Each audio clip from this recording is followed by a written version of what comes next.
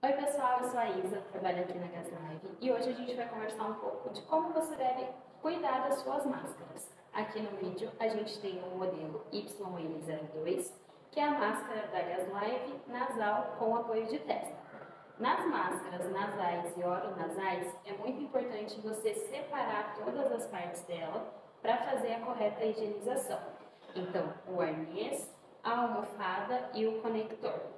É muito importante você manter sempre essa interface limpa, porque é ela que vai levar o ar do equipamento para o seu rosto, tá? A gente pode lavar as máscaras em água corrente ou aqui, como a gente vai fazer de exemplo, em um recipiente, sempre com o sabonete líquido, tá? Então, a gente sempre vai colocar todos os, os itens Lavar bem esses itens, tirar o excesso de água com um pano e deixar ele secando à sombra.